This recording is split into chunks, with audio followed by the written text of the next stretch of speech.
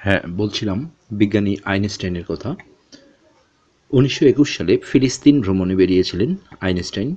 সেখানে যুব সংঘ নামের এক প্রতিষ্ঠানের প্রধান কর্মকর্তা হিসেবে কর্মরত ছিলেন বাইশ বছর বয়সী এক তরুণী।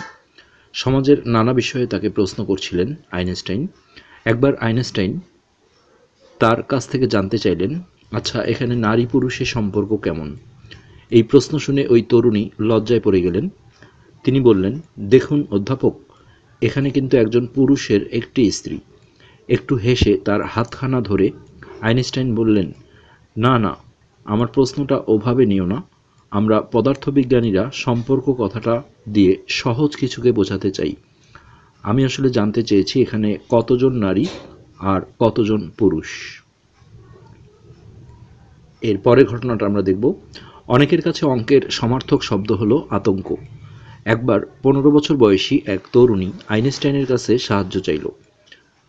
গণিত বিষয়ে তার বাড়ির কাজ বা হোমওয়ার্ক সে সঠিকভাবে করতে পারছিল না। আইনস্টাইন ওই তরুণীকে বলেছিলেন, গণিতের সমস্যা নিয়ে খুব বেশি দুশ্চিন্তা করো না। তোমার কাছে গণিত যতটা কঠিন, আমার কাছে গণিত তার চেয়েও কঠিন। এর পরের ঘটনাটা আমরা দেখব। একবার এক ছাত্র আইনস্টাইনকে জিজ্ঞেস করল গত বছর পরীক্ষায় যেসব প্রশ্ন পড়েছিল, এবারের পরীক্ষায়ও ঠিক ঠিক ওই সব প্রশ্নই পড়েছে। ঠিক বলেছ, আইনস্টাইন বললেন। কিন্তু এই বছরের উত্তরগুলো আগের বারের চেয়ে সম্পূর্ণ আলাদা। আমরা পরের ঘটনাটা দেখব। একবার এক অনুষ্ঠানে আইনস্টাইনকে জিজ্ঞেস করা হলো, আপনি একটু সহজ করে আপনার তত্ত্বটা আমাদের বোঝাবেন? আইনস্টাইন তখন এই গল্পটা শোনালেন। আমি একবার বন্ধুর সঙ্গে হাঁটছিলাম। বন্ধুটি ছিল অন্ধ। আমি বললাম, দুধ পান করতে ইচ্ছে করছে। দুধ? বন্ধুটি বলল, পান করা বুঝি, কিন্তু দুধ কি জিনিস? একটা সাদা তরল পদার্থ। বললাম আমি।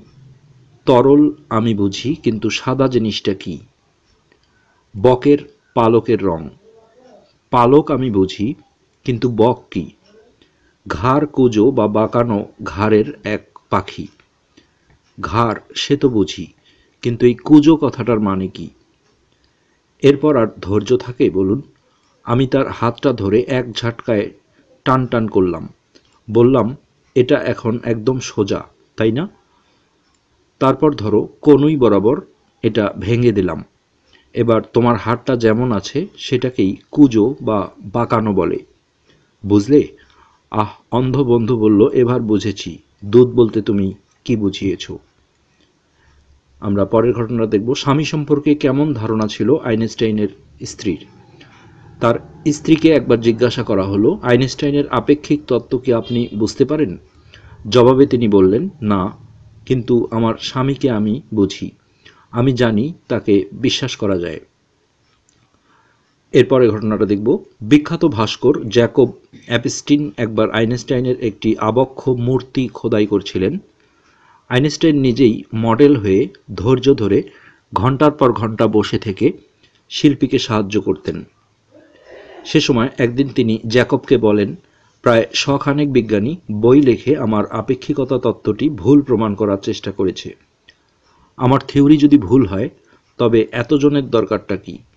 একজন বললেই যথেষ্ট। এর পরের ঘটনাটা দেখি।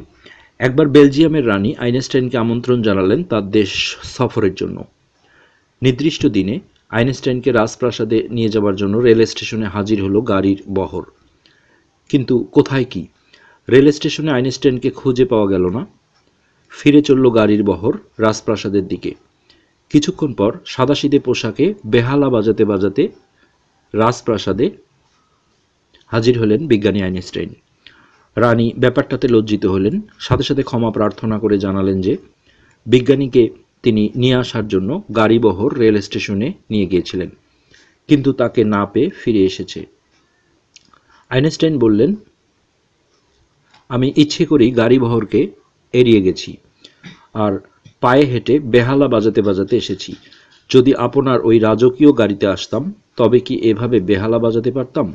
সাধারণ মানুষের মতো শহরটাকে দেখে নিতে পারতাম। আমরা পরের ঘটনাটায় দেখি।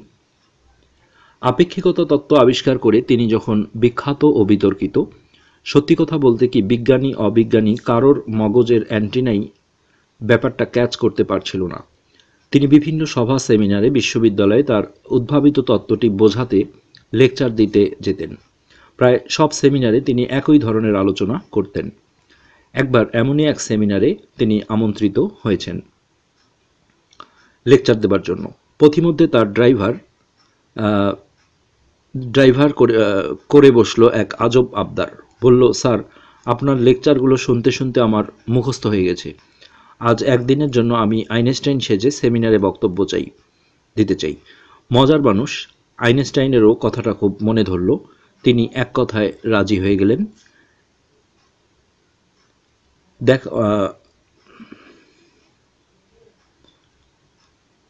সরি আমরা একটু মিস্টেক করেছি। দেখাই যাক না ব্যাপারটা কি হয়।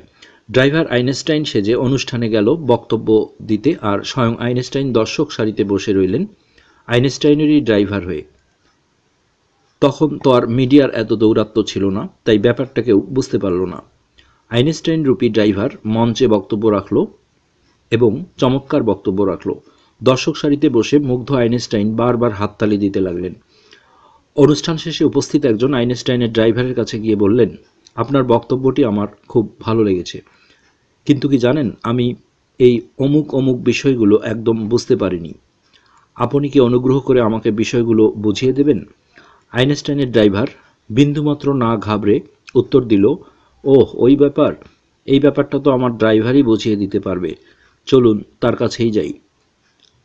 আমরা নেক্সট ঘটনায় যাই। রেডিও জিনিসটার ব্যাখ্যায় আইনস্টাইন, তুমি টেলিগ্রাফের তার তো দেখেছ। মনে করো, এটা লম্বা, অনেক লম্বা একটা বিড়াল। তুমি নিউ ইয়র্কে বসে এর লেজে টান দেবে, ওদিকে লস অ্যাঞ্জেলেসে এর মাথা মিউ মিউ করে উঠবে। ব্যাপারটা বুঝতে পারছ? বেতার ঠিক এভাবেই কাজ করে। তুমি এদিকে ইশারা দাও, ওদিকে সাড়া পড়ে। পার্থক্য হলো বেতারের ক্ষেত্রে বিড়াল বলে কিছু উপস্থিত নেই। এরপরে আমরা নেক্সট ঘটনায় দেখব। এত সুন্দর ব্যাখ্যা যিনি দিতে পারেন, তিনি কিন্তু অনেক বড় জীবনের সহজ ব্যাপারগুলো বুঝতে পারতেন না। একবার আইনস্টাইন বাড়ি বানালেন। বাড়িটা কেমন হলো? একদিন তিনি তা দেখতেও গেলেন।